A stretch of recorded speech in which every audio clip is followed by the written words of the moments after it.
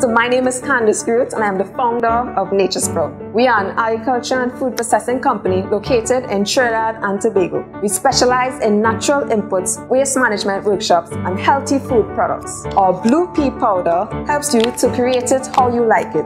So whether it's cocktails, smoothies, pancakes, you can take that creation from blue, purple, or green. Once you can envision it, you can create it. To follow our journey on Facebook or Instagram, or you can contact us for more information.